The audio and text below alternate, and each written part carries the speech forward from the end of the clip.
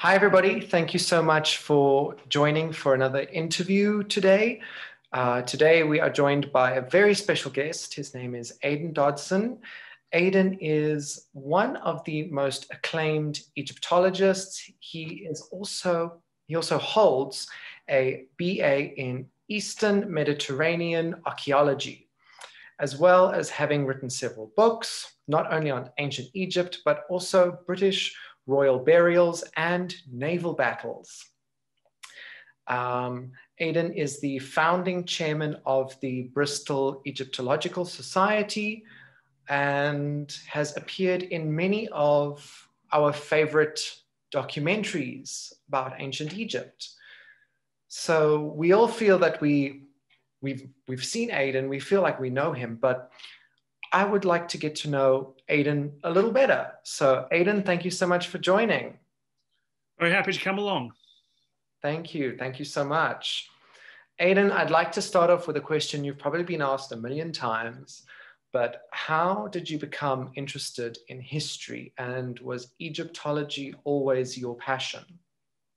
I think it probably was. Um, I, I, became interested in the sub in sort of history in general, I suppose, when I was about seven or eight, which I think is the sort of age a lot of people get bitten by whatever are their sort of great passions um, in life. And about the same sort of time, I was taken to join the local public library by my parents and sort of started poking around what, what they got. And um, even at seven and at seven or eight, I was looking more at the his, history stuff. And then sort of came across these wonderful books full of skeletons, you know, morbid curiosity as a seven or eight year old. And this, these, of course, were books on archaeology. And then fairly rapidly, it became, I was more focused, I was more drawn towards the um, Egyptian, um, the Egyptian side of things um, rapidly read all the books on ancient Egypt in the children's part of the library. So then my parents ended up having to give up their um, readers' tickets for um, adult, the adult side of the library while I started borrowing books from that. Um, two, the two sort of books which really sort of kicked it all off for me were two. There's one called The Lost Pharaohs by Leonard Cottrell. And the other one is Temples, Tombs and Hieroglyphs by Barbara Mertz and people may will be know Barbara Mertz also as the novelist Elizabeth Peters. And those two books together really kicked it all off.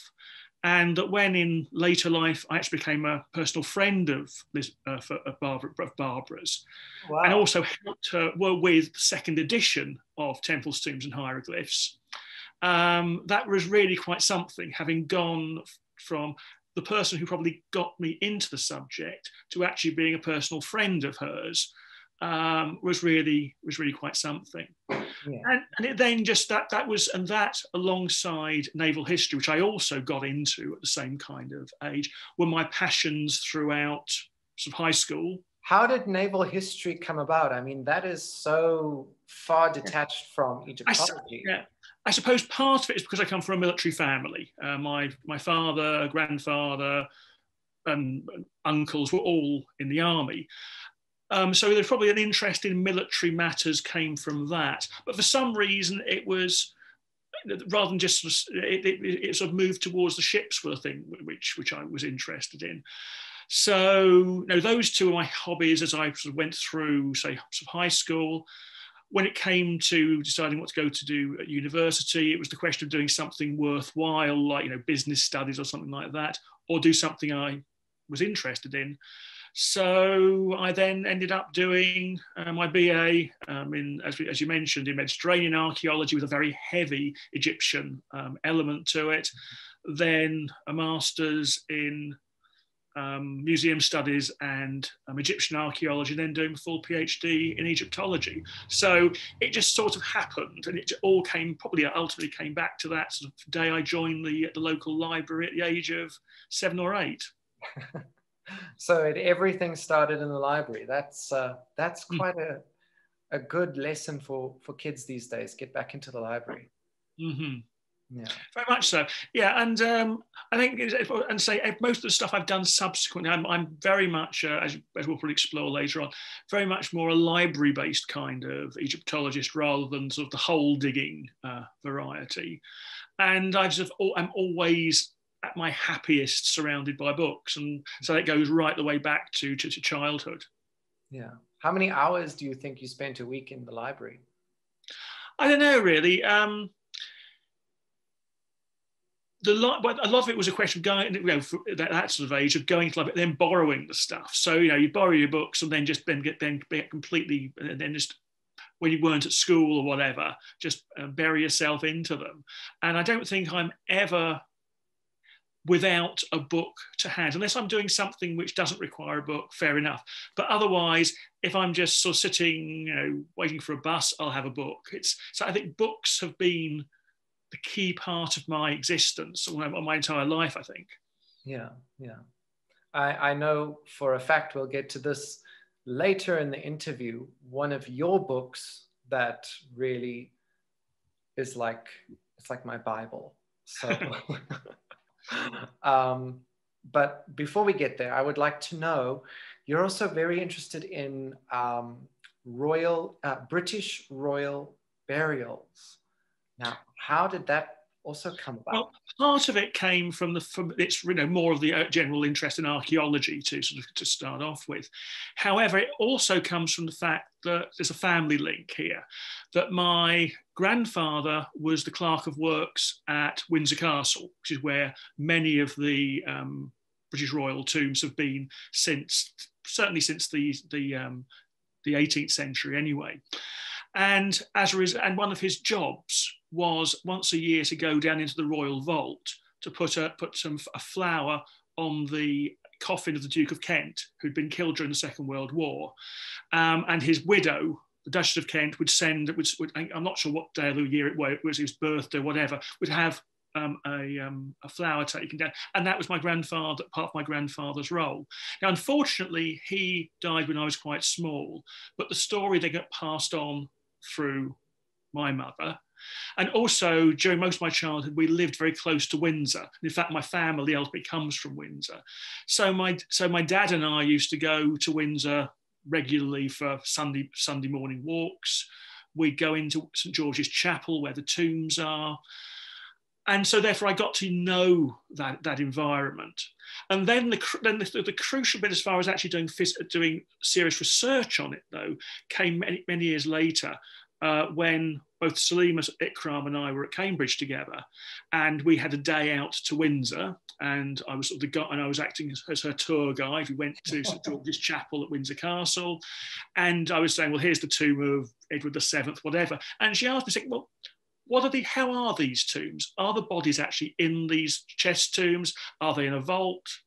And I said, okay, I'll I'll find out, I'll try and find out for you. And over the next few years, I did research on that, produced a, an article on the topic, um, and then ended up producing a book on it. So it, it, sort of came out of the fact that I've always been interested in what what human beings do with dead bodies. It's always been part of my, it's, it's a, because in, in, within Egyptology, um, I've, my sort of what I might call my core skills, if you like, are things to do with tomb design, coffin design, and all that kind of stuff. So actually having an interest in what the ancient Egyptians do with with with the with their with their with their, with their dead is also something which um, I want to you know applies for other things as well. So so that's that's really where it comes from. There's this general archaeological interest in these kinds of things, but also with the um, just with the whole question of um, you know like the archaeology of, of, of, of, mortality, if you like. Yeah, yeah. Have and one of the things I'm currently trying, trying to persuade um, my department is we need to put a, a, to create a teaching unit on the anthropology of death, which I think whole, which is something I would be very happy to contribute to. That is something very interesting. That would be like how, what would you call it? Um, like death studies, or I don't know, what would you? Yeah, yeah. no, I think it's, it's something because particularly we've got a very wide. Our department is anthropology and archaeology, mm-hmm. and as such, that'd be a nice way of tying to pretty well all of us in the department, whether we're social anthropologists, Egyptologists, prehistoric archaeologists, although whatever whatever we are, um, whatever we are, um, would actually feed would actually feed quite neatly into that. Yeah. Have, have you ever noticed any links between ancient Egypt, their burials, and British royal burials? interest there are certain sort of little themes which keep on picking up throughout sort of the throughout the world almost one of them is the desire to actually make coffins in the shape of human bodies now we're all familiar with egyptian mummy cases but actually when you look at into the history of um, british medieval burials you have lead coffins made in the shape of the body which actually, if you just if you look at a sketch of one, you just think it's an, an Egyptian mummy case. Actually, then you realise it's actually the lead coffin with um, Henry VII in it. So that, that there's certainly that. There's always this, there's always desire for commemoration, and it's interesting even when you're talking about faiths which don't believe in commemoration per se. You know, because in Islam, theoretically, you should simply be wrapped in a shroud and buried no yeah. marker, no nothing. Yet, of course, people are building mosques and around those. Um, you know, in, in, Christianity, ashes to ashes, dust to dust, but you still you, you, you mummify the body, you put it in elaborate tombs. So there's all, I think that human beings seem to have a certain sort of um, there's a thread. Yeah. Yeah. So, so, so there's a lot of things where suddenly these little these features pop up, pop up, without any possibility of, of, of, any, any direct connection. You know, it's always our problem when, when you have some of the more the lunatic fringe sort of saying, well, because there's something which looks Egyptian here, therefore the Egyptians must have been there. Well, come on, come off it. There's no way Henry VII of England in the 15th century AD has anything to do with Egyptian mummy cases of a thousand years or more previously. Yeah, yet, like we they, even knew about it. Yet, yet, yet, yet, yeah, absolutely. Yet the morticians have come up with the same basic idea, mm-hmm.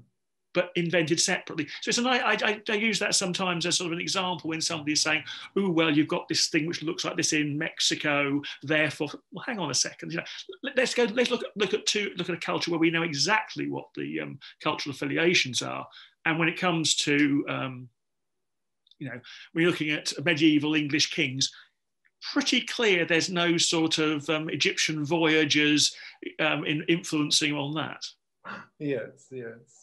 You know, I was actually last year, this time I was in Sicily and um, I was speaking to a lady, we were all having dinner together.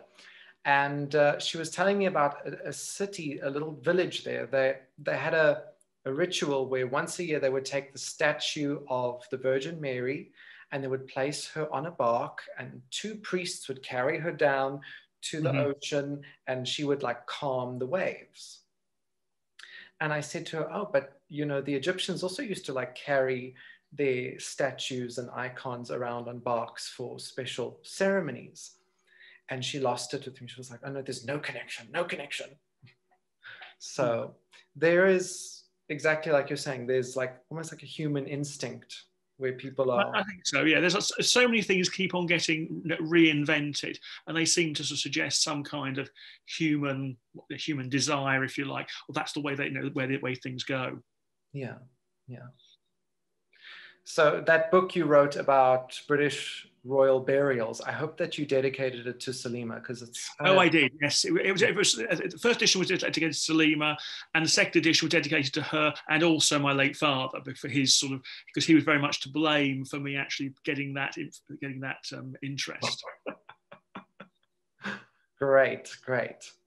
Was there ever a time in Egyptology where you thought, hold on, I'm not going to study this anymore? Where do you get your drive from? Well, I think part of it was because for 25 years, I, my Egyptology was actually part time. I had to take a day job. Um, like so a lot of my, particularly my sort of generation when I graduated, that wasn't good. So actually, for 25 years, I worked. I was a, a civil servant for for two, well, for for, for four days out of five, and one, and only one day a week was I actually working actually as an Egyptologist.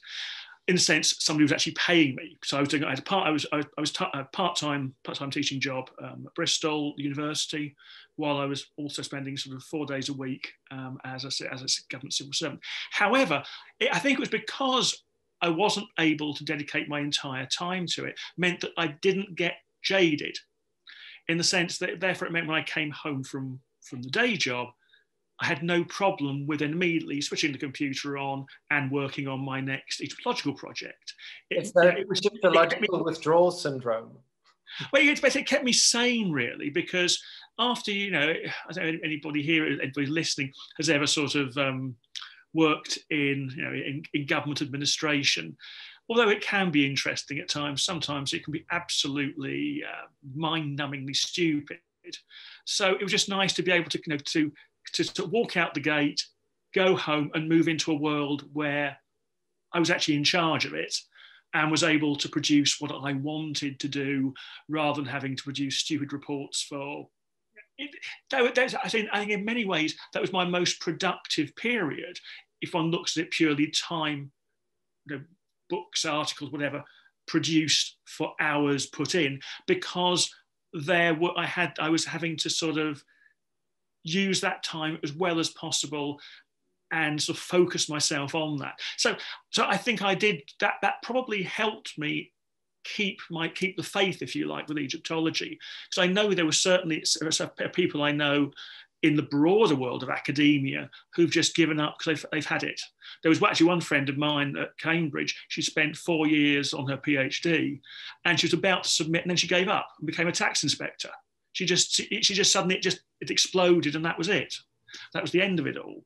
So in some ways i probably benefited from the fact that i was forced to do a day job for a long time yeah. um, which therefore meant that my sort of enthu- the enthusiast in me um, sort of kept going because that was something which i could sort of ma- maintain um, in parallel. And it's one thing i do actually say to students today even if you can't get the academic job you want immediately and you have to end up getting a day job, don't worry too much about it because it's possible you may well get back again.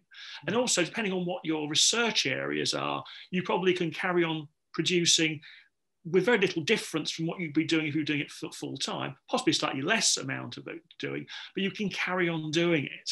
And I think that's a, an important thing, particularly nowadays where there's so many people graduating in subjects when there's no way there's going to be enough jobs for them. In yeah. some ways, actually, we're almost going back to the where it was in the 19th century, where a lot of people had a day job yet they made a major contribution. I think people like sort of Hincks and Goodwin and so on eh, to British Egyptology in the 19th century, when there was there were no jobs to be had at all, not to be a few, there were none to be had, yet they were able to produce world-beating material. Yeah. I think it just ultimately comes down to whether you can actually manage your time sufficiently so that you can actually carry on you know, that building those building blocks. Yeah. Well, I mean, if you look at Howard Carter, I, I believe he didn't even finish high school. Um, hmm. so, and he was just good at what he did. Yeah, and I think that's that, that's one of the things which I think in, in Britain anyway, that until the point came where there were so many PhDs being produced, you couldn't, you know, you wouldn't get a job without a PhD. You've got a situation where there are, we've had professors of Egyptology with no degree at all.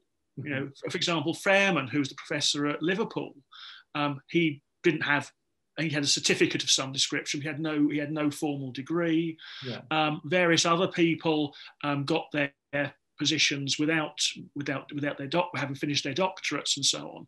So I think I think certainly there's a, there's a tradition I think in Britain of a much more sort of self-motivated thing. In complete contrast to the situation say in Germany, where law lays down that you can't have an academic job unless you've got X qualifications. Yeah. It's always been a little bit more bit more flexible um, in the in the UK.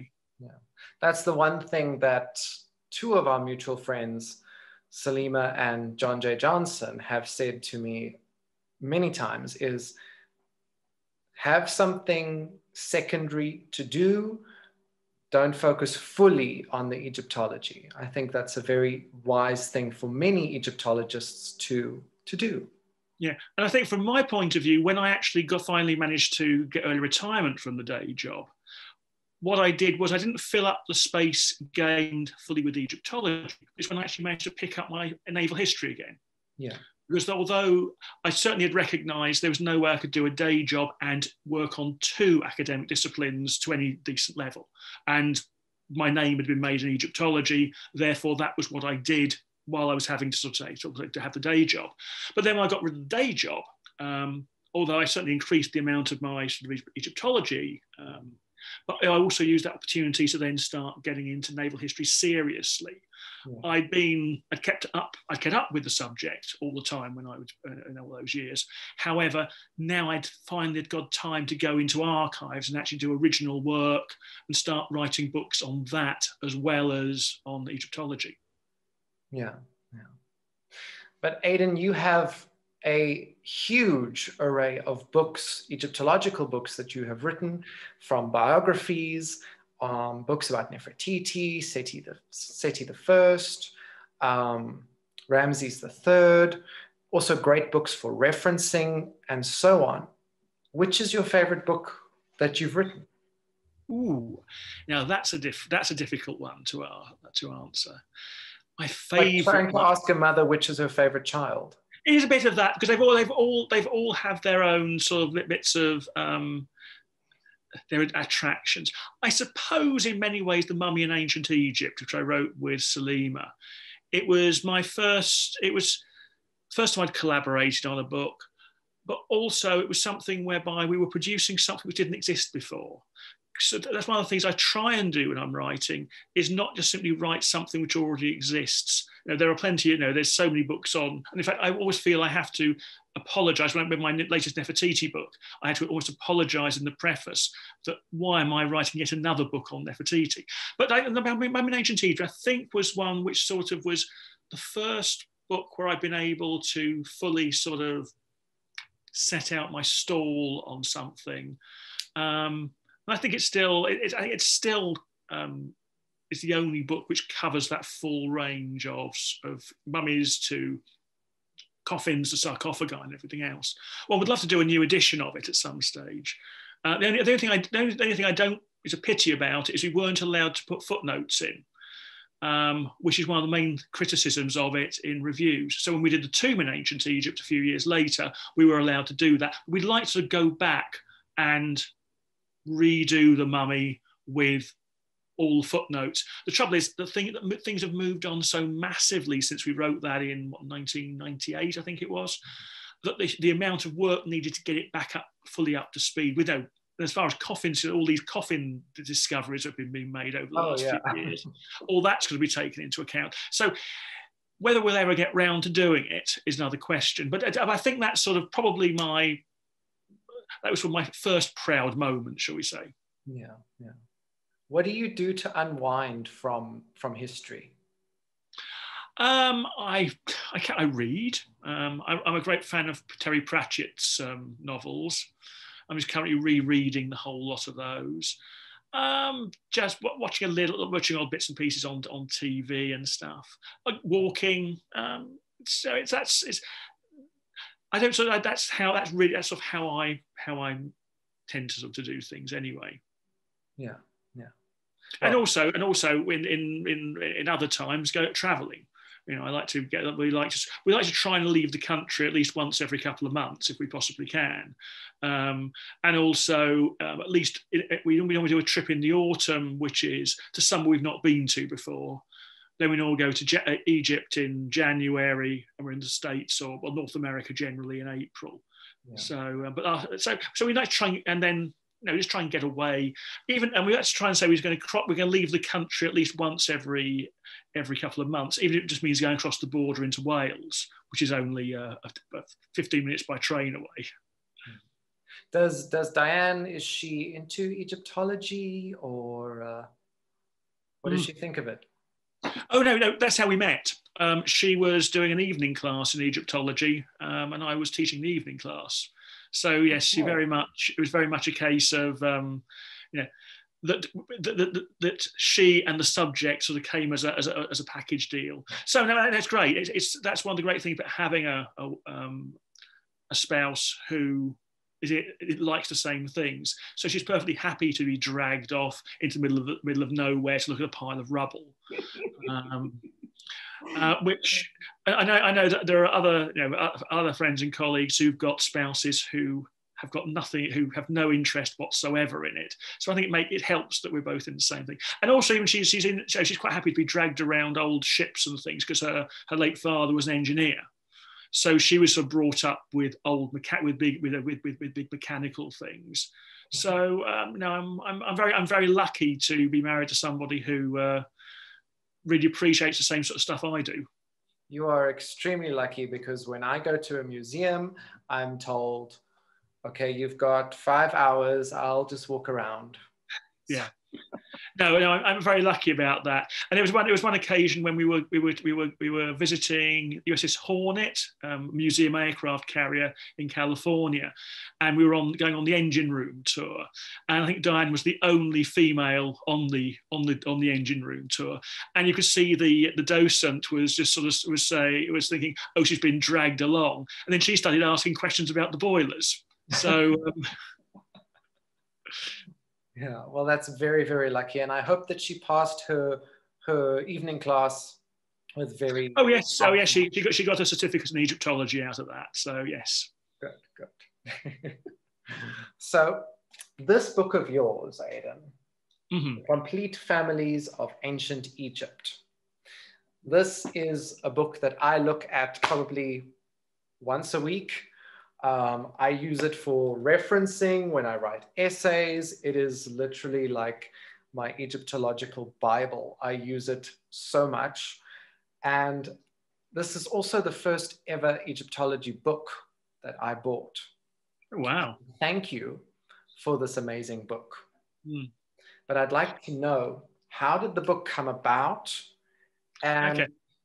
how, how was the research going into this book? I mean, it's quite extensive. Yeah. Well, okay. The, the origins, uh, uh, but you know, as you as you see, it's actually co-written with with Diane, my wife, yes. and it was her idea fundamentally. Well, she, she well she got the whole thing going. Basically, one day while we were doing while she was doing the um, the uh, the evening class, we've been we were I think one class I've been talking about something to do with the royal with royal family genealogy, and she actually is an amateur genealogist. She's done, she's traced her own family back centuries and so on.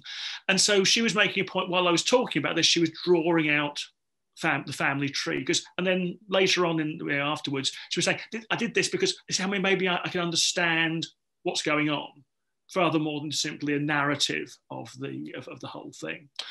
So um, and then she said, Well, is surely there is a book where where all this stuff is. I said, well, no, there isn't actually. And, and we sort of said, well, let's write one then. So that was the origins. It was a little bit like Salima asked me the question about the British royal tombs, about the tombs in Windsor.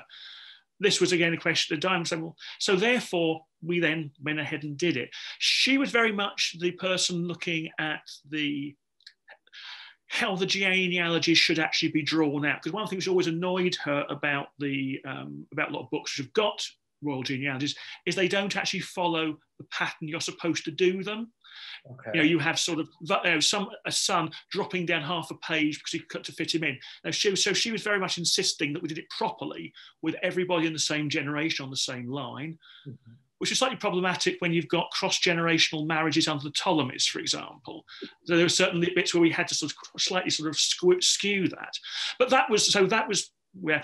And as far as the actual writing was concerned, what I'd done, there's quite a few things I'd already done in the past regarding certain clumps of them, particularly the royal families of the 18th dynasty, been something that had always been a major research interest of mine. So a lot of that was already in existence almost. Um, then it was really a question of just slogging through the existing uh, reference sources. Um, there's still um, Gautier's Livre des Rois from the early 20th century. It's still got some, it's still useful as a catalogue of who was known then. There's a couple of other volumes. Uh, for example, Lana Troy's Patterns of Queenship has got a very nice catalogue of all the queens and princesses in the back of it, which was useful. So there were a few um, existing sources I could sort of start off as building blocks. Yeah. and then from those building blocks, then okay, what isn't known, then sort of disappear into, into the library for a few for a few weeks to sort of work through that, and gradually the whole thing then built up.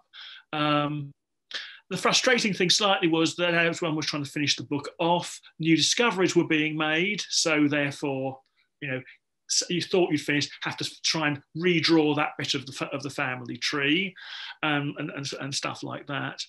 Um, and so eventually, eventually got there. The first edition, what you've got there is a, is the is a sort of second edition, in the sense that it was going to it was going to go into paperback, um, yes, and we were told you, yeah, and you, and you, we were told well you've got about a fortnight to do any corrections.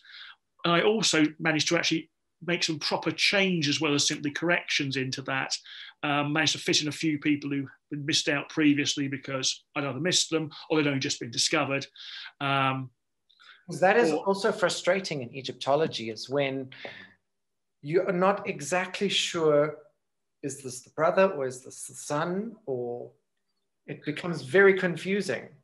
Oh, very definitely, yes, yeah. And and in certain places in there, I did have to make a had to had, had to make a call you know a judgment call as to whether who I thought how I thought it, it best worked. Yeah. And so since that so and since that was done, things have moved on. Um, I would if very much like the Mummy book. There, there's some major revisions of little bits of it which I'd like to make.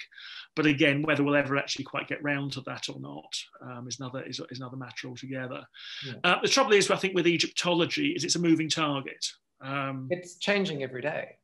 Precisely. Well, the, one of the things you know, when I this when I went through, there were two, there's when I did the second edition of Amarna Sunset, for example, I had to change 75% of the chat of the pages in one way or another, and that was only when I was I was eight nine years on from the first edition. Um, the Afterglow of Empire again. I had to completely rewrite a whole one whole chapter with lots of other changes because sometimes it's just one discovery has this knock-on effect on everything else. Um, for example, on the Amarna, on later Amarna, discovery that Nefertiti was still alive and and still acting as, a, as just an ordinary queen yes. six months before her husband dies was some was a, was a complete revelation and it suddenly ruled out a whole load of some of th- certain theories. And then in the 25th dynasty, it's just been recognized that Shabaka and Shabataka have always been put the wrong way round in history. If you reverse them, there's a the, the, the ripples which come off from that are quite massive. So the whole of the 25th dynasty has to be re- rethought. Yeah. Um, so it's so it's, it's, even just one of these odd little discoveries, and then when more major things happen, it's all you know. So it, it, it is very it's it's a book is almost obsolete the day you the day it actually goes to press. Mm-hmm. Um, and sometimes I am fiddling with new facts coming in as sort of look we, we press the button on the printing press like next week and you've got to get some of those things in. Yeah. So it's a it, it's quite a an interesting um, aspect to it. And i think it's something which i don't think as many people understand as they ought to. Um, you know there is this you know i've had before now with students say well why can't why shouldn't i be using this book which was written in 1950 you know he's a distinguished professor who wrote it. Well yeah. Unfortunately since he wrote that lots of new data has come out.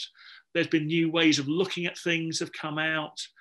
Um, you know it's on the other hand though you know you've got to be careful that don't just simply jump on the very latest idea because that might actually be wrong there's always this terrible temptation to simply assume that the, the latest the latest book on something, the latest article is the way it is and everything else is wrong.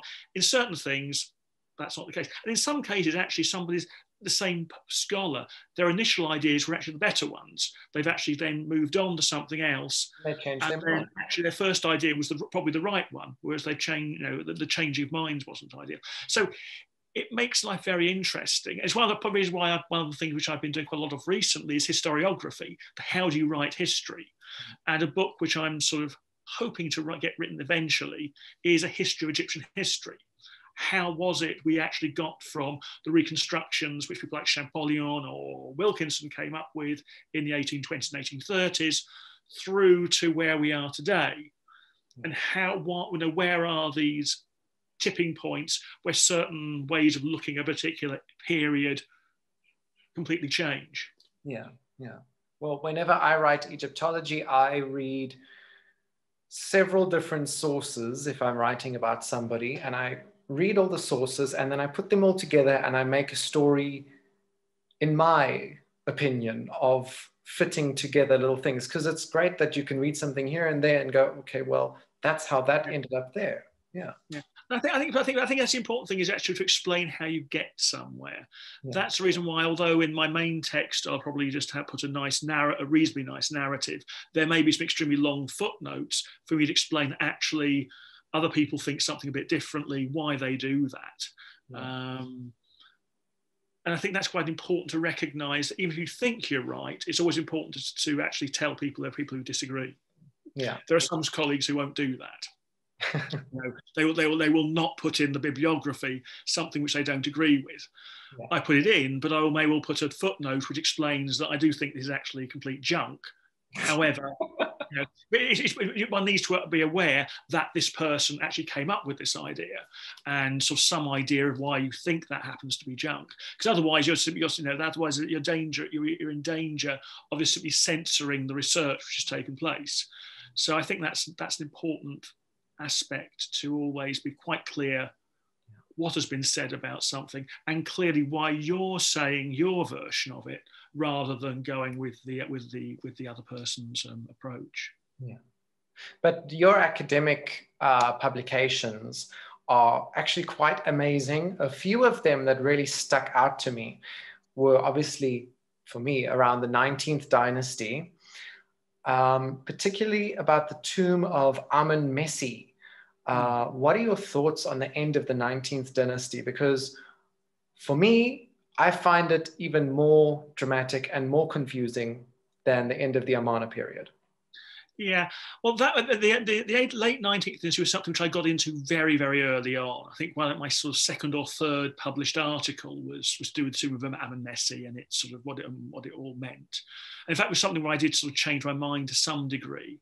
But basically, the situation seems to uh, well, in fact, the um, the reason why the book on my book on the late 19th century is called Poisoned Legacy. In fact, the original, the full title was The Poisoned Legacy of Ramesses II because I think part, I think part of the problem with late 19th dynasty is that Ramesses II left so many offspring. Yes, and it was a fight. Yeah, so, so and I think, and also the other thing which he did, or at least probably Seti the first kicked off this whole thing, is actually he made the royal family a thing. If you look back into the 18th dynasty and earlier, it was basically the king, the queen, and possibly a couple of princesses. You didn't actually have in your face a royal family on the walls of temples anyway. Okay, you knew about princes and princesses from the tombs of their of their um, nurses and things like that, but you didn't. They weren't on temple walls. They weren't public figures. Yeah. exactly. Then Akhenaten sort of starts moving in that direction by putting his daughters on the walls. But then the 19th dynasty, probably because it's now reversed, they're, they're a bunch, they're, they're, they're commoners who've got lucky and got the throne because Horemheb didn't have any any children. They using the word commoners. they um, say they, they so, so, therefore and for them they want to emphasize the fact they are there is this royal family that they've been previously it's almost been sort of you know you took it as read and so they put it so what you're ending up doing i think is that rather than a king's son who in earlier time would simply have gone off and got a job you know because he's not been pushed out there as this is Prince so and so. Whereas you've got 150 of these princes under Ramesses II. So I think what it means is younger sons start getting ideas.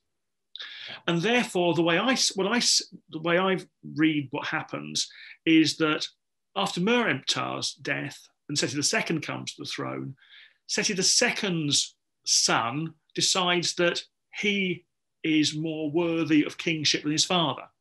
So you then get the rebellion of Amenmeses against his own father, Seti II. There is a civil war, which Seti II ultimately wins, but dies fairly soon afterwards, leaving the only leaving the only possible heir to the throne, the actual the, the infant son of Amenmeses, who is Siptah, according to my my picture. Siptah is a child. Um, probably at eight when he comes to the throne. So therefore, Seti II's widow, um, Tawosret, is the it, become, becomes regent, along with the Chancellor Bai, who I have my suspicions that Tawosret and Bai might have been a couple, very much like Hatshepsut and Senenmut. Um, but then it all goes horribly wrong because then suddenly we find Bai being executed, going from being the regent of the country to suddenly being executed. And then a year later, Siptah's dead as well. And I have a horrible suspicion that Tawosret is a bit of a Lady Macbeth kind of figure, and that it's not impossible that this, the death of her husband, her, uh, her, her, her step grandson, as well as Bai, may all be at her hand. Now, this is something I've been trying to write a, a novel about for years. I actually ended up writing, I read my thought was to write a novel and then end up writing up the, the, the, proper sort of academic study of it. And of course, you can't, you know, in an academic study, you're not going to start sort of, you know, making accusations of Tawosret as this. But I think that if I was ever to finish this novel, that's the picture. It's, it's she's also almost these of the Livia or Messalina or or, or so and then it's but then I think she come that her final that she goes too far when she bumps off Siptah. Yeah. And that's where Setnakhte, who is some kind of cousin, he must be from it must be one of the descendants of some one of the offspring of Ramesses II. He comes in, there's the final civil war, he wins, mm-hmm. And then Ramesses III comes along. So that's what I think's going on. That it's actually there's this there's a it's a, it's a basic a family issue going on here with Amenmeses um, being somebody who is, you know, a younger son who decides he is the be- he's going to be a better king. Um, well, again, again, sort of nice parallels of the English Wars of the Roses as well. All these kinds of things happening. But then there's Tawosret um, as sort of the uh, um, as a, as a, as a figure with her with her tentacles sort of uh, producing what goes on. So that's sort of my my sort of rather over my dramata over dramatized version. That's I think's going on. Yeah, yeah. Well, I find it extremely interesting. The end of the the 19th dynasty. Uh, it is certainly quite dramatic. Um, I I always I always look at it and think this is something more happening than what we knew what was happening. I mean, even Tawosret's tomb was used by Setnakhte. Yes, but also now what's interesting about that tomb is the way that you can see the transition of her of her status. Um, and in the first corridor, you've got a couple of reliefs which have started off as being Tawosret simply as a queen, as regent. Then those figures are reworked as her as as pharaoh, and then they're reworked again to turn them into a male pharaoh in the, in the form of Setnakhte. So it's, a, it's, a, it's one of my favourite tombs in the Valley of the Kings. I can never get too much of it. And it's one of those, and if anybody, if I'm leading a tour group or something, and they sort of ask for tips on which tomb, I say, well, Tawosret is has to be there on the list because it's a beautiful tomb, but also the story behind it is fascinating. Yeah. Well, I, I'm working on artistic also reconstructions are based off the mummies of the 19th dynasty, um, because we literally have every single person in the line apart from Amenmeses. Um, so I'm working well, on. well, we think, well, we're not sure because that the yeah. mummy, that, that, that, that, woman's mummy, which some people have said is Tawosret, may not be. And also, analysis of Seti II suggests he's actually of the wrong, he's, he's, he's not a member of the family at all that he may actually be an 18th dynasty mummy. Yeah, so he had that resist, he had that overbite. Yeah, but also there's this. If you if you if you read what the um the sort of the uh, also the, the sort of the um the various analyses of that mummy, it it just doesn't it doesn't work very well. He appears to be too too young and so um, there's there's there's, re, there's reasons for to suspect that Seti II may have ended up being mislabeled in ancient times. Yeah. Well, when I do the reconstruction, I'll put a question mark next to his mummy. And I think so. Yes. Yes. I'll, I'll, I'll put a footnote. According to Aidan Dodson. there's, there's, there's, a, there's a chunk of, of um, Poison Legacy where I discussed the whole question about his mummy identification. So just can just refer to that. Yes. but uh, another question about something that you've written was also about the renaissance of Old Kingdom art in the late um, in the late the later part of the New Kingdom. Do you think that there were other factors that played into that apart from just the expulsion of the the Assyrians? Yeah, in fact, it's before the fact all kicks in actually, but well before the Assyrians. The, the, the, the, earliest examples of getting this kind of old kingdomy stuff seems to come about around the eh, sort of late 22nd dynasty, around the reign of Shoshenq V or slightly earlier.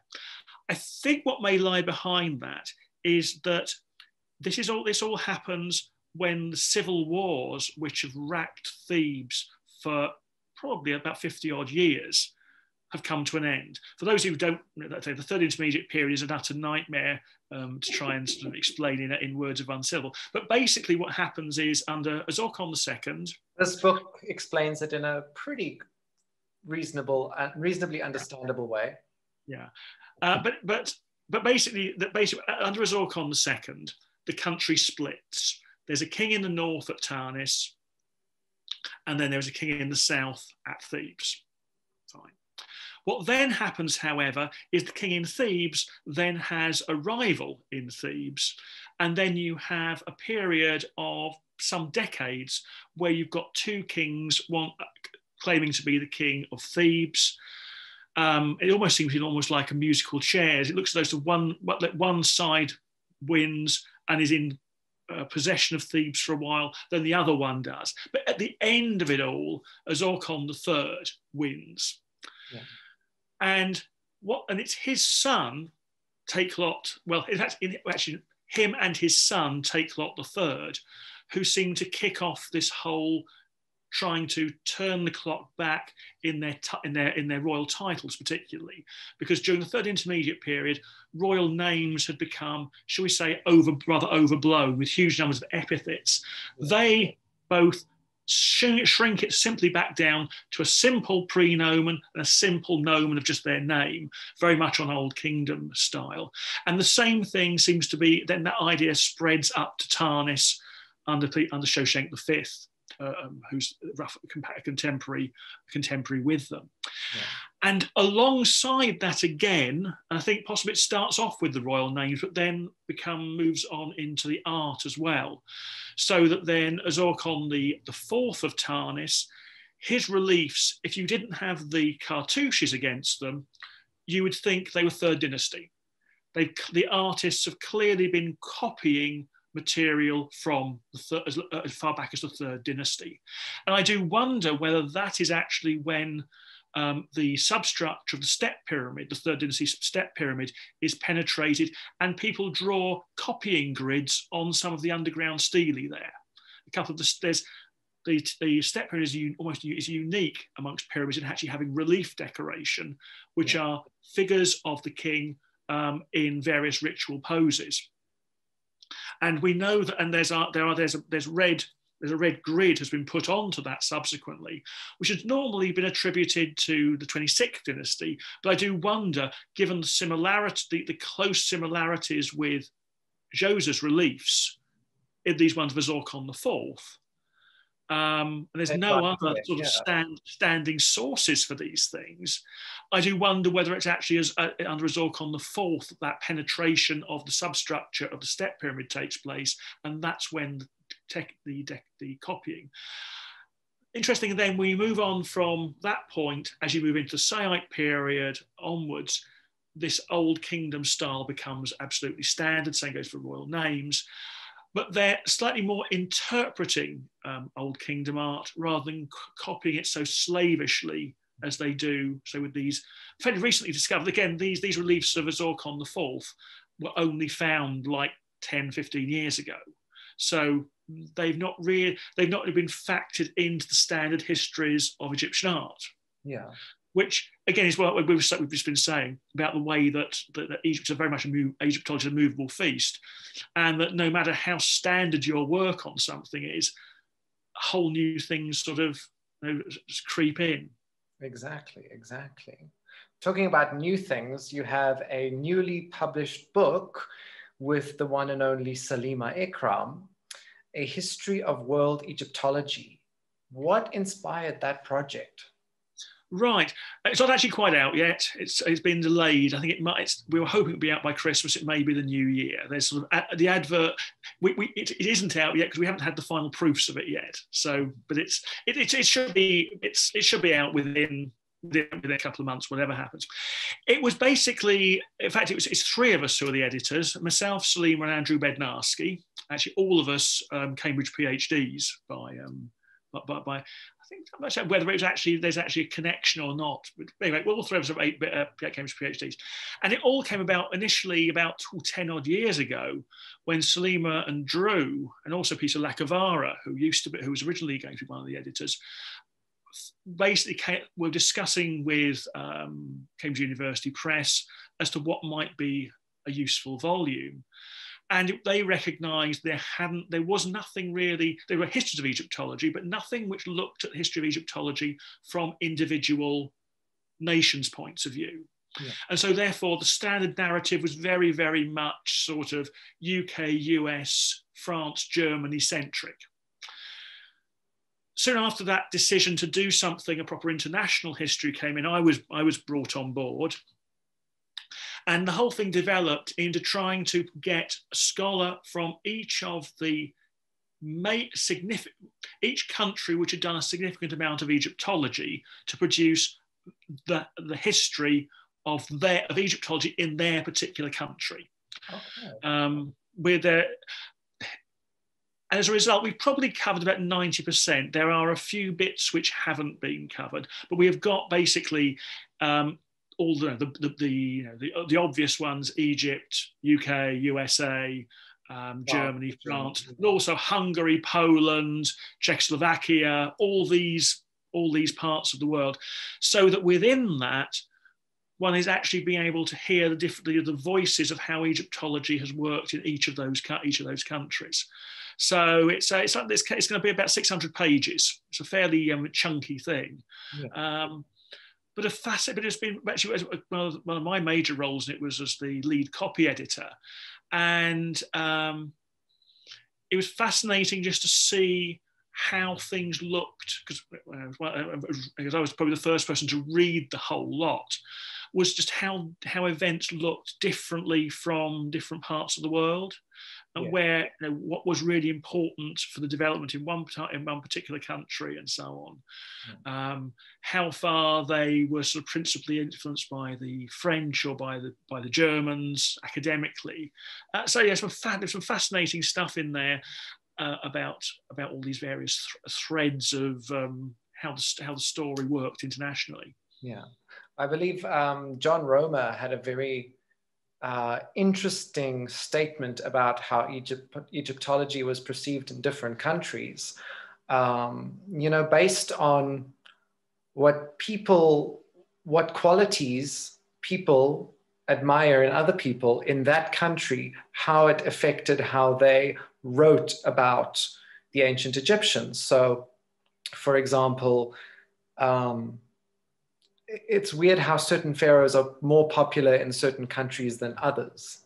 Yeah, I think there's also a degree as to how acad- academized, I suppose you'd want to call it. Some countries, Egyptology has been very much a top-down thing, particularly in somewhere like Germany, where it's where the posts were created by the government and you everything sort of was, was, was built around a broader sort of um, national, nationalistic theme, and in others where it's from bottom up.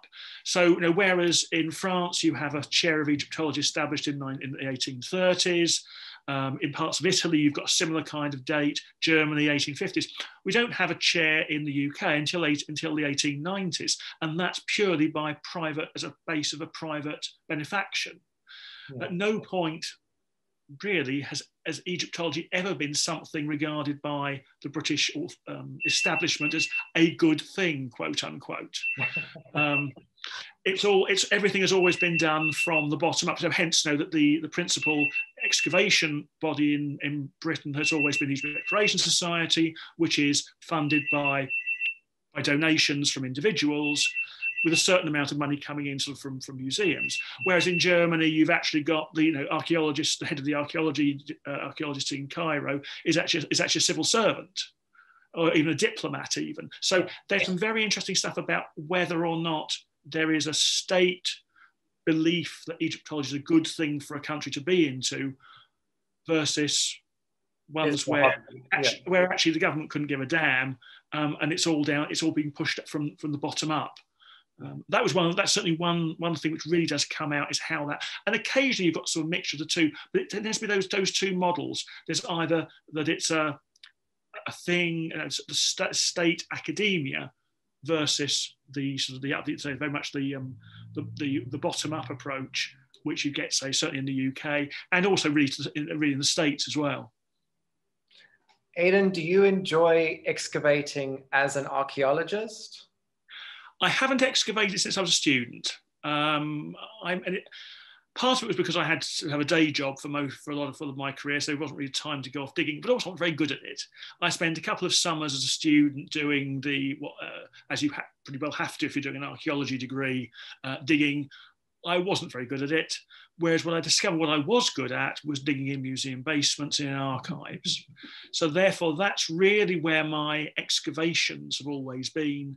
Um, say working through working through archives, um, looking at long neglected objects in museum basements, and I, am always fascinated when trying to try to track an item which is sitting in a, a, local a local museum somewhere with apparently nothing other than it comes from Egypt, yeah. and then then picking one's way back through the archives of the institution to find out who it was who, who donated the thing in the first place, and then gradually, then finally managing to work out who the person who donated it was. And in fact, that almost leads into sort of, into sort of social history. Um, some years ago, I was working on a couple of coffins which are currently in Plymouth Museum down on the, on the south coast in Britain. And it turned out that they had actually one point been in a house in Bristol. Um, and then the person who you know who, who had them there, how he'd acquired them. And we ended up at one point even doing a sort of mini excavation in a Quaker graveyard to find to actually re, re, rediscover the gravestone of the guy who had actually been the key person in this in the history of these these um, coffins in, oh, wow. in modern times. So, and, and we go, okay, there was in, in, there ultimately about what his titles were, the owner of these coffins. But the whole thing ended up being the story of a little episode of Egyptology in the southwest of England. Yeah. yeah. And that's the sort of stuff I, I like to do. It's, you know, so some of it is I'm happy, you know, looking, I'm very happy to work, you know, working on what happened in the past, yeah. but actually trying to find out how that past was influenced by the present, how how the ideas came to. Hence the reason why I'm interested in this whole question about the history of Egyptian history. Why do we think about why why do we think something about what, what's going on? Who had those ideas? What caused them? Um, if they were caused by a particular object, what's the history of that object in modern times? How did it become visible to um, to, to, to, the wide to the wider audience. And in fact, these, this, this series I'm book, books I'm currently doing, which includes Seti the First, Ramesses the Third, Nefertiti, and the others which are coming on beyond that. There's a whole section in that about how these people actually were first revealed again to the world, because you know until the 1820s, nobody even knew Nefertiti even existed. She'd been forgotten for thousands of years. And in fact, um, what was interesting with her is just finding out how she just starts to appear in histories simply her name appears, then she sort of, you know, then she becomes sort of, she's sort of focused as being sort of part of the the uh, the, the, the, couple with Akhenaten, and then when her then when that, and then when the, the bust is is found in 1912, so at least at least when the bust is revealed to the world in late 1923, she suddenly becomes a cosmic megastar. Yeah. So how you sort of it's, it's how somebody comes from from zero to sort of to heroin in that particular case is another little thing about we're both looking at how uh, we reconstruct Egyptian history, but also how the world looks at Egyptian history. But about Nefertiti, I remember a couple years ago you appeared in a documentary with Josh Gates, mm-hmm. uh, which at the time was causing quite a bit of controversy um, investigating the younger lady and if she was Nefertiti. Now, I have to say, no one changes the world by not being controversial. So good for being controversial because how a new discovery is going to be made if you're not. But what do you think about the younger lady? Is she Kiya or is she Nefertiti? Nefertiti. I have read. By assuming that the DNA evidence is real, and there is still people who could question whether the DNA work done in uh, uh published in 2010 is actually real rather than contamination. Because there are people who still argue ancient DNA can't exist, or at least can't exist in mummies. But assuming that's okay, that the, the, the DNA of that is consistent with her being the a cousin of Akhenaten, which fits in neatly with what, what, most sort of reconstructions of the history of the, of, of the royal family seem to work out with.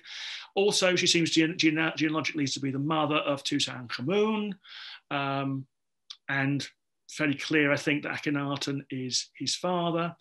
Um, all those things come come together the, the controversy on that on that really was all to do with, with the color they decided to make the skin of the the reconstruction actually. That was the big that was the big thing nobody really debated the real issues about why we actually thought she might she was a candidate or not. Everybody's got, got hung up on um, whether whether her skin was light enough or dark enough which was slightly ridiculous.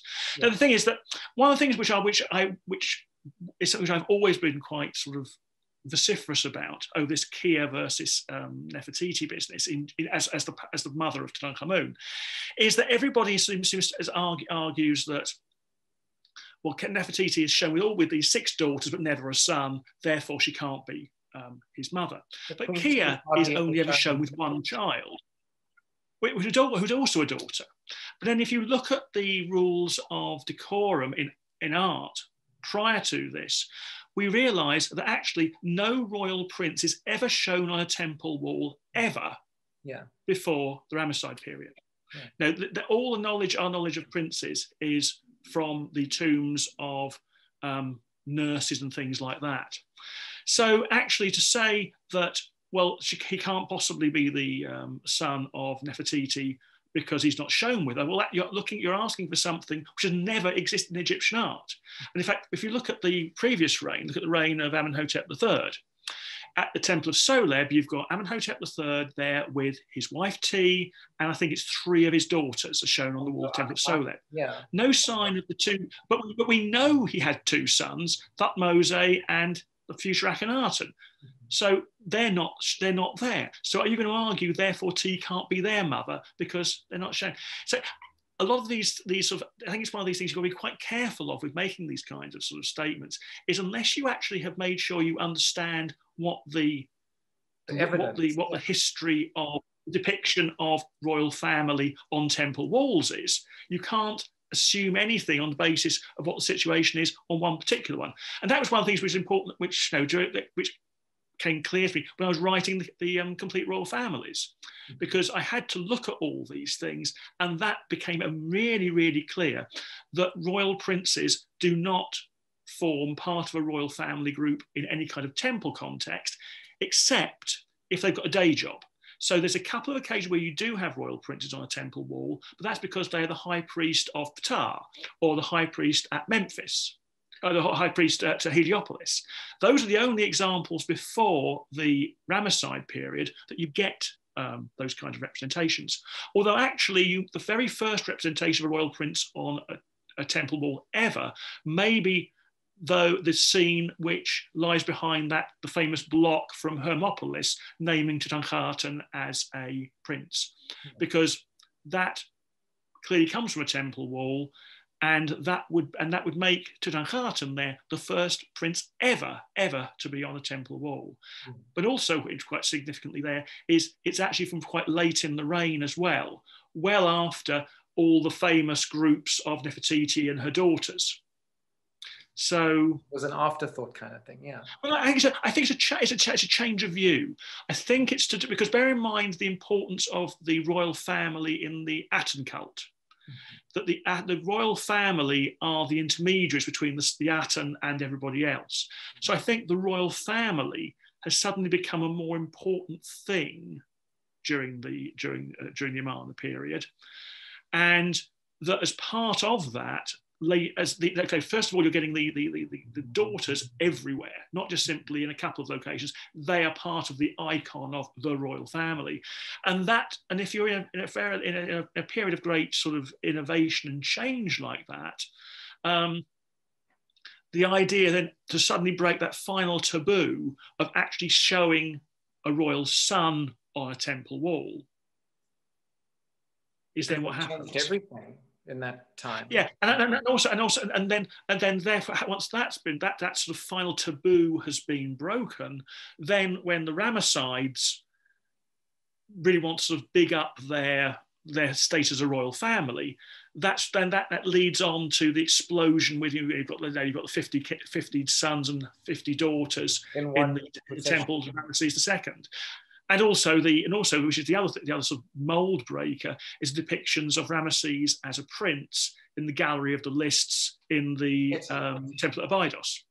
So that sort of that's how I see the bigger picture, and within that, the idea that the that, you know, Nefertiti is the mother of Tutankhamun, therefore the implications of her therefore being the younger lady, it all sort of it all sort of fits together. Yeah. Yeah. Hmm but it was, but it was one thing which was which was a sort of pain in that was that actually rather than debating this real stuff, all of it was about should we should the should the sculptor have made the skin you know x x degrees darker or lighter, which which rather sort of that's half the problem though when you're trying to present something.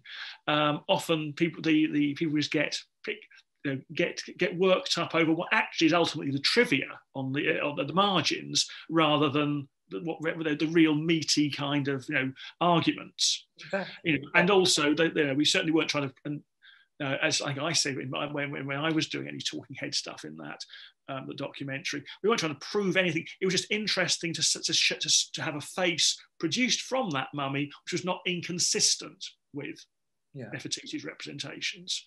Because again, those kinds of representations although you can probably get, get probably the cheekbones and stuff right, but the lips and the nose and stuff are always to do it a matter of a matter of speculation. And so that, again, I think I would be quite careful. People should always very careful about these reconstructions of the this is the re, this is the real face of X, Y, or Z. Yeah. Um, it's not. It's something which probably isn't too far off, but um, no, the, the, be careful with the noses and lips, particularly. exactly. Exactly. But Aidan, I wanted to know what has been the highlight of your career thus far? Highlight of the career? Ooh, that's a difficult one. I suppose there's sort of two levels of it, I suppose. One was actually probably the, the, the, the discovery which I was sort of most sort of pleased about was was rediscovering Shoshenq the Fourth. Um, was actually publishing the fact that he, that he actually was a, a separate a separate figure. It's always been thought that he'd been this, he that this particular king was was actually Shoshenq the First with a more with a more elaborate um, name um, name um, set of set of epithets, and it was able to prove that you don't get those epithets that early. So Shoshenq the Fourth. So therefore, I, I rediscovered a pharaoh. Okay, only in literary terms, not by sort of digging him up. Yeah. And, and, and the other sort of project was probably when I got a, was appointed a professor. You know, if you somebody who starts off as a school a schoolboy enthusiast, um, and then so one day you then suddenly find you get the you get the email through from personnel saying, uh, you know, you're, you're you're promoted to uh, to professor of Egyptology. Um, it's quite a it's, a it's one of those sort of it's a big. That, that has to yeah. has to be that has to be sort of uh, a bit of a a, a, mo, one of a moment. So I think probably those two. One from the point of view of actually doing this, you know, actually doing something like that, and the second, as I is actually sort of getting to the point which I think ever, anybody ever I ever believed I could ever possibly be. In fact, it's one of those odd things that a whole bunch of us of that generation who sort of knew each other as students, myself, Salima, um, a couple of other people, all suddenly finding ourselves as full professors of Egyptology, and we're going, "What happened? You know, where did that come from?" It was a, it's a very good generation of Egyptologists, I have to say. But it's, it's, just, it's, just, it's just, you know, it's, it's just odd that you sort of, there's always this sort of imposter, it's imposter syndrome, they call it. Yeah. And you don't feel any different from what you did as an enthusiast undergraduate, whatever it was, all those all those years ago. And then suddenly you're one of the grown-ups. Like, no, when I became chairman of the Egypt Exploration Society, you know, Alan Gardiner, Tom, all, all those sort of people have been chairman of the ES in the past. How the hell did I become one? you know, again, it's that sort of it's, it's, quite it's quite weird feeling as one moves through a career that you get something. How did that happen? Yeah, yeah. Well, it's happening, and it's happening at the right time, and you deserve every bit of that uh, those accomplishments. So, Aidan, before we before we do any questions, I'm gonna do some quick fire questions for you, and then we'll take a few questions from the audience. Are you ready? Indeed, yes. Okay. Favorite place in Egypt? Saqqara. Favorite artifact? Ooh, difficult one. Um, um, um, um I ought to get. Uh, I think I, I know what it is. It's the outer coffin of Queen Meritamun, the colossal one in the Cairo Museum. It's massive, yeah, yeah. Yes, beautifully made, absolutely gorgeously made. Favorite pharaoh? Interesting. Um, basically, because he's the, a guy who sort of basically, basically slaps everybody around and gets things back something like on even keel. Favorite queen? Um, um, um, um, probably Ahotep. Um, in the sense that she, again, is somebody, a strong woman who, after the death of her husband, again seems to sort of rally Egypt. And also, she's the one who gets the, the, the gold flies of valor, which is something, um, you know, um, a woman getting three military decorations suggests she has something about her. Yeah, yeah. Favorite place apart from Egypt? I have to confess, I'm very, I'm very fond of where I live now, Bristol. Um, I, I, very much fall in love with the place. I was abroad. I was a, I was a, I'm a born and bred Londoner. Came down here 25 odd years ago. Um, no, I, I, think I think I'd really. I just I, am very happy here. Yeah, yeah. A discovery you want to see made still. I would like to see the complete clearance down to bedrock of the central area of the Valley of the Kings because I suspect there may still be one more tomb there which might contain the missing Amarna princesses. Yes. Okay. Well, thank you so much, Aidan. That was so much fun getting to know you, hearing about your stories. I would like to now open up to some of the audience members. So whoever has their question, please unmute and ask your question. I have a question. Yeah. Hi, Marissa. Hi, Aidan. Hey, Curtis. Hey, everybody. Um, I'm Marissa from New York City. Um, and Aidan, I'm one of the people you spoke about earlier who's been joining the Egypt, Egypt the EES um, lectures that we never would have. You know, I live in New York, so thank you. I'm one of the people you talked about with this amazing Zoom boom. Um, when you were talking about how there aren't um, the royal princes aren't ever portrayed before the Ramesside period, what is why? What is your theory? Is this? I think I have some ideas, but yeah, I think it's also. I think if you look at it, actually, that the this the depiction of anybody other than the pharaoh is quite a, a rare thing. You only you start getting queens starting to be shown occasionally during the Middle Kingdom.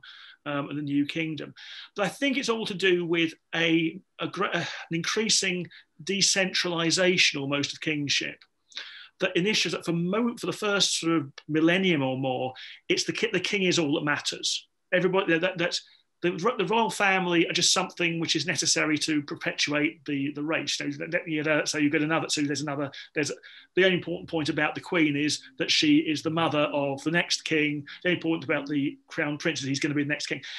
That then, what I think we're, we're seeing is a gradual erosion of that very sort of strict um, situation.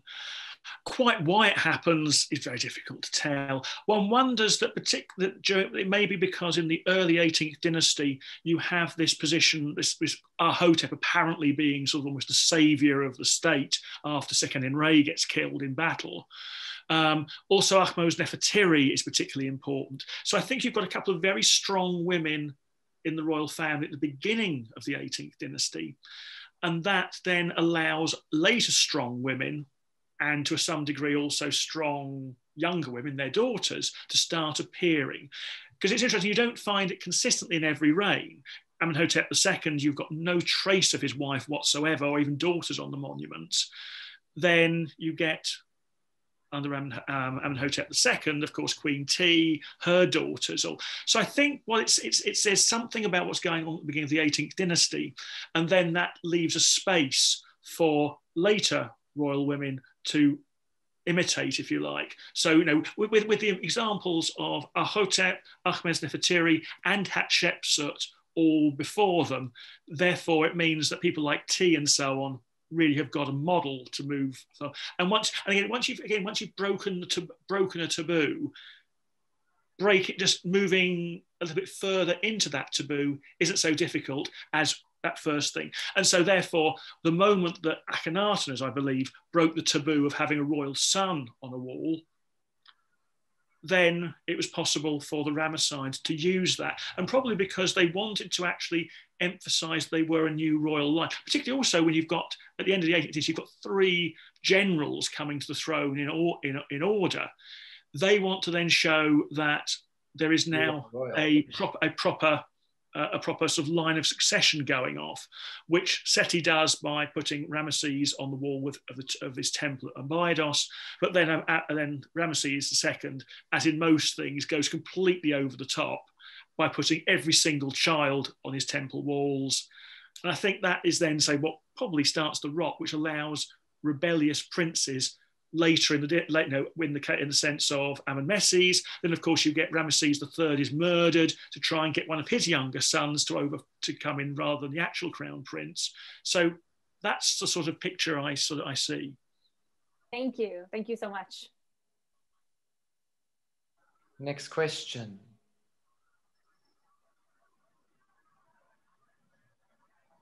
Hmm? Anybody? I see Jill. I see you're unmuted. Yeah, I was thinking about this uh, novel you're writing, Aidan. Well, I, I tried to write. I, I, it hasn't been. I've not done anything on it for about 25 years. It was one of those things. Oh, no. yeah, I sort of start. I started it. Um, and never got got beyond that point um, because I also I discovered really that, that, the thing is that the that writing fiction is a very different skill from writing non-fiction and I'm not necessarily I wasn't necessarily sure I can sort of write you know convincing dialogue and all that kind of stuff so yeah, it would be something I would. And there was also another, another sort of va- start, vaguely started novel from again that kind of period, 25, 30 odd years ago, which was sort of a semi-comic novel about um, uh, the life of an, of a, an archaeology department at the university, sort of vaguely autobiographical in the sense of cl- clamming together various personalities and events from the well the four universe five universes I've now been involved with over the years. But again, that never really got any. The first chapter, in fact, the first chapter got written, then the second chapter got lost um, when in a computer crash. Having spent, I've never. It's to say, it's sitting there on my hard drive, both of them, which I don't think will ever, ever go anywhere. But um, but on the other hand, sort of one thing which, which in the plotting of the late 19th dynasty one was concerned, it was quite useful in trying to get my head around what might have happened, even though, you know, rather, even though I'm, no, you would, I'm not actually going to put that kind of stuff in the sort of in the proper thing. Well, I think it would be very interesting. Yeah, it's, it, probably, probably, it's, it's, it's, probably it's the time to do these things. Uh, yes. But um, you know, there's only so many hours in the day, and I, and I do like to try and not sort of spend the entire day sort of hunched over a hunched over a laptop. It's not good for you. Exactly. Um, and and also there's certain things where uh, if I'm doing stuff which I think actually makes a difference in the sense of you know new study of something or whatever versus some versus sort of a what you know effectively a pot boiler I suppose.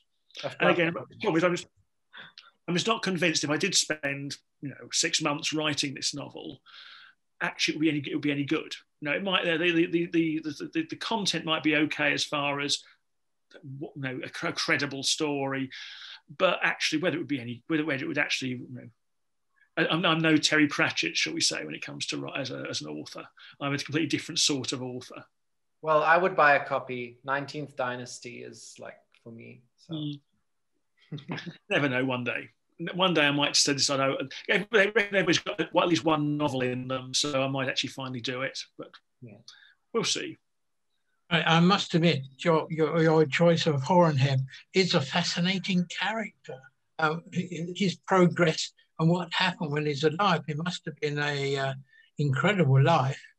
And I, I do like his in the British Museum. It's a wonderful statue of him with his, his partner there, and the way they're holding hands. I think every time I go there, it's the first thing I go and look at, look at because I think it's uh, yeah. there's so much there and I've heard very little in all the lectures I've heard about him. I've heard many learned lectures about many pharaohs, but never Horemheb. The trouble is we don't really know much about him. That's the problem. You know, he this is the trouble that you know we, we he sort of we don't know anything about his family background particularly. Uh, we know here, you know, he writes. So there's sort of very little one. You've, you know, I've, I've produced a, you know, I've produced this chapter on him in um, Amarna Sunset, but that was, and I had actually thought about possibly trying to do a book on him in this, in this uh, Lives and Afterlives series I'm doing for AUC Press. But actually, there's not enough meat, if you like, to be able to to get there. Um, for fiction, for yeah. putting your own dialogue in there.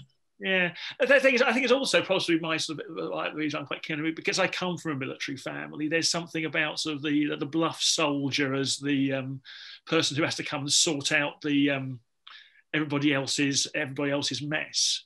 Um, so yeah, it, it's, it's and all, but also though he's you know I like I, the the art of his reign is is nice. It's a nice sort of um, halfway house between sort of the Amarna and then sort of getting to the rather less, rather more stereotypical stuff during the Ramesside period. So it's it's an it's an it's, it's, interesting in all kinds of levels. It's just one wishes there was a little bit more data one could one could be able to throw in at it. There's you know there's still still still the question about whether he reigned for 15 years or 30 years, and that makes a big difference to what you say about him if you've got a relatively short reign versus um, this more chunky one. So yeah, but uh, yes, one would like to see a bit know know a bit more about him. He's he's one of the things I people I would, would love to find you know his long lost autobiography in some um, papyrus roll somewhere. But I have a fear that Egyptians don't write and never wrote that sort of biography any autobiography anyway.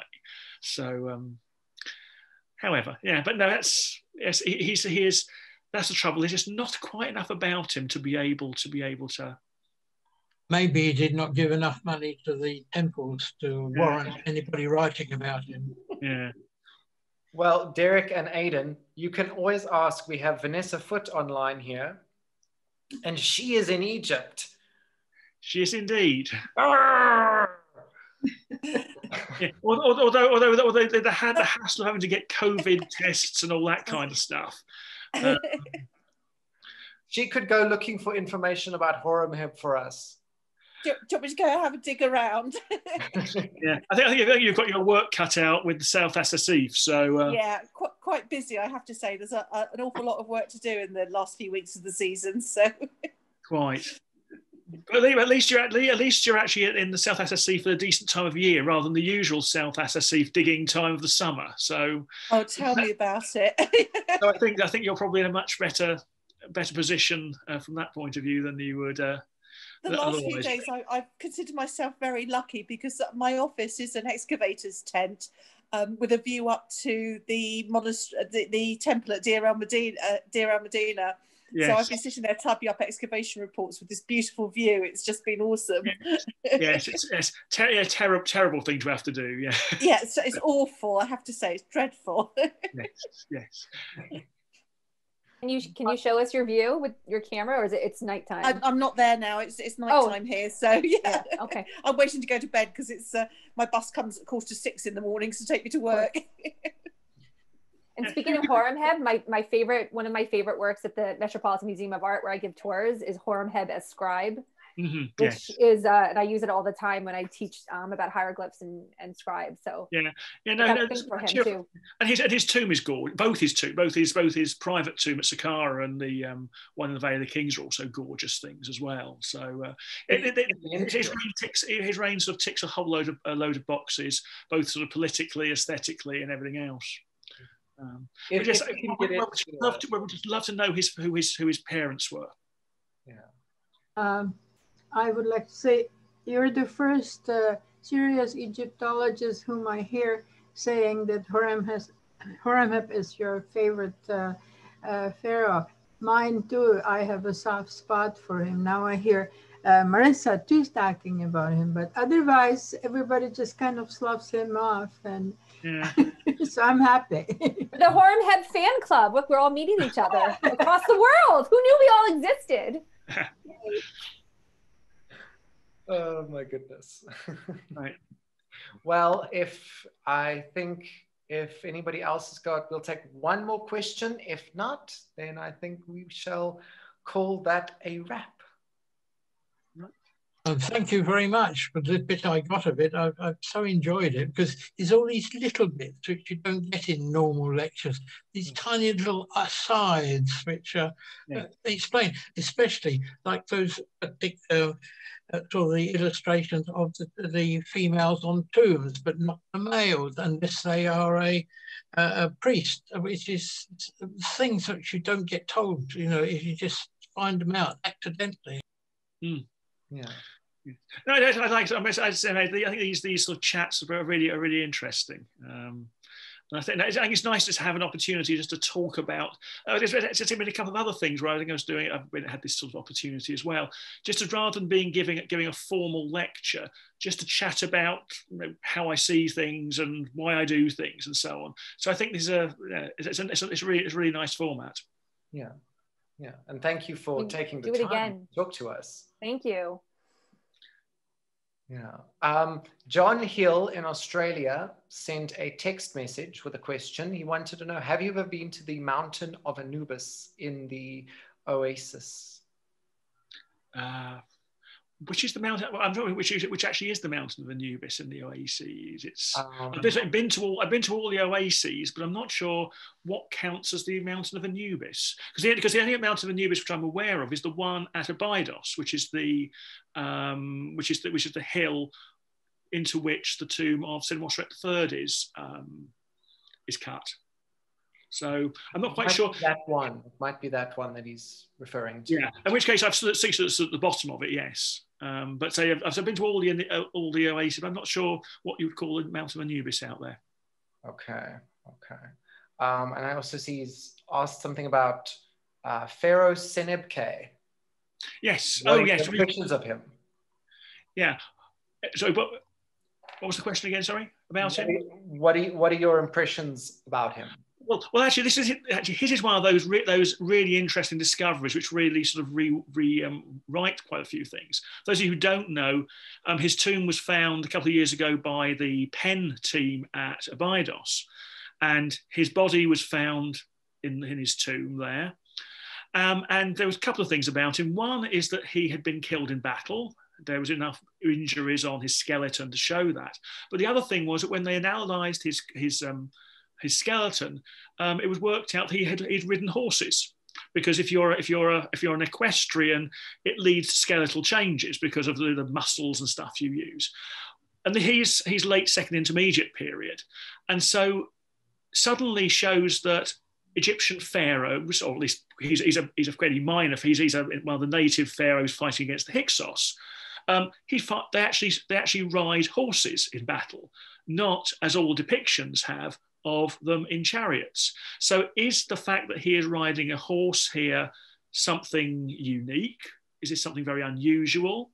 How does the fact that you've got this king riding riding a horse in the late second intermediate period fit with all later pharaohs who we see um, being sort of moved by horses or in chariots? So it, it raises some whole very interesting questions about the investigation of the horse in Egypt and its use. So um, it's, it's, a, it's one of these starting points, I think, for, for further research, has to be.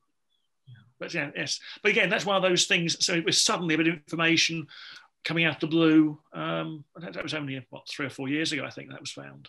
Yeah. Although I must say, as, as one gets older, one tends to think of, the, of discoveries as being a couple of years ago. Then you discover actually it was 15 years ago. Um, we, we recently had we, we, when we moved house, we had a, a, new kitchen put in. We had, we had it put in by the same contractors who done done the um, kitchen in our old in our old um, flat, and then I went in and said basically want as far as possible a, another version of that kitchen. And he said, well, when did we do this for you? I said, well, seven or eight years ago, 15 years ago, when he finally found the file in the, in the, in the, in the depths of his, his, his, um, his storeroom. So yeah, recent, relatively recent past, shall we say. Yeah, yeah. Well, Aidan, thank you so, so much. That was so fascinating, so interesting to hear your thoughts and your opinions on things. Um, always great to pick your brain. So thank you so much for taking the time to talk to myself and to answer questions from our audience. Very happy to have done so. Thank right. you. And thank you to, to John J. Johnson for uh, putting us all in touch. Indeed. Well, so it's a fairly small world of Egyptology, I have to say. It is. It is indeed. Right. Anyway, thank you so much, everybody. And um, tune in. Uh, I have a few more interviews coming up soon. Um, Bettany Hughes, I will be chatting to her on the 17th of December. Um, and a few others. So stay tuned. Righty ho. Look forward to it. Thank you so much. Thanks, Aidan. Thanks, okay. everyone. Have a good evening. Bye, everyone. Thank you again, Curtis. Thank you, uh, Aidan. Thanks, Marissa. Ciao. Thanks, Curtis. See you on Monday, Aidan. Monday evening. Inshallah.